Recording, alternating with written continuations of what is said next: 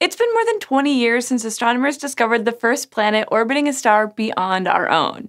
And today, there's a catalog of more than 3,700 confirmed exoplanets, along with thousands more unconfirmed candidates. But now, we might have found the very first moon beyond our solar system, or an exomoon. Last week, Science Advances published the first quote unquote compelling evidence of a huge Neptune sized exomoon 8,000 light years away. In 2017, data from the Kepler Space Telescope seemed to contain hints that an exomoon might be out there.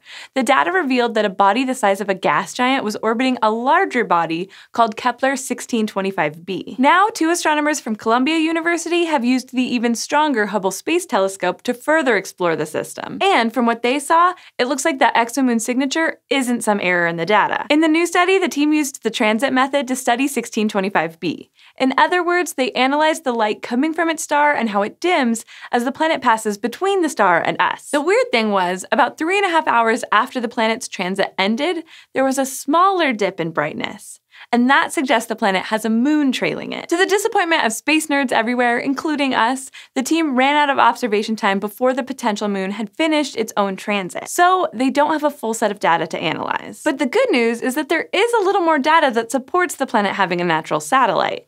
The planet's transit started over an hour earlier than was predicted. That could happen if it had a moon tugging on it and changing the system's center of gravity. So far, all this evidence suggests this moon, if it exists, is comparable in mass and size to Neptune. By our standards, that's huge, but since the planet is around the same size as Jupiter and a few times more massive, it makes sense. Then again, these properties aren't based on the strongest models, so there's still some uncertainty. It could be that our data is a bit off and that there isn't a moon at all. Instead, there could be a second planet in the system that's responsible, although there hasn't been any evidence of that so far. It's also possible that 1625b could just have a longer orbital period than we think, or it could be orbiting at such a distance or angle that it's not transiting every time we look at it, which could be why our predictions were off this time. Right now, the authors of this paper confess this first exomoon has to survive years of scrutiny and follow-up before its existence can be confirmed. But if it does end up being a moon beyond our solar system, it will be a really important target to continue studying. For example, since it's likely much, much larger than any moon in our system,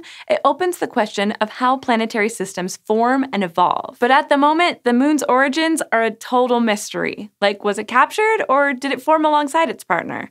At this point, we can only guess. In other moon news, a study published online this week in Nature Geoscience predicts a decent chunk of Jupiter's moon Europa might be covered in giant ice blades. Officially, these blades are called penitentes. They're formed when large chunks of frozen water heat up and sublimate, turning directly from a solid into a gas. On Earth, we see this happen in places like the top of the Andes Mountains, but we've also seen evidence of these blades on Pluto. For penitentes to form, the environment has to be super dry and cold. The air has to be really still, and the sunlight has to hit the ice at just the right angle and for long enough periods of time. Then, the sun's radiation causes heaps of water molecules to sublimate, carving deep depressions into the surface and turning everything really spiky. In other words, the penitentes don't grow up like stalagmites do. They're leftovers. Eventually, penitentes smooth out or break apart either from geologic activity beneath the surface or space debris smashing into them from above but the amount of time that takes can vary. To learn more about Europa, astronomers wanted to determine the likelihood, location, and size of penitentes,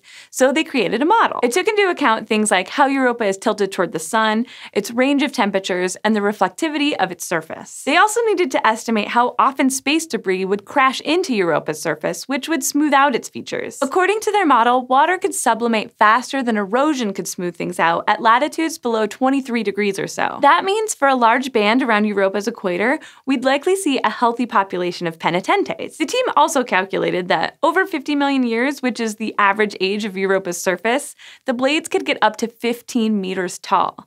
That's three times taller than what we usually see on Earth. Of course, all their stats are averages and don't take into account local geologic features or exactly how impurities in the ice will play a role.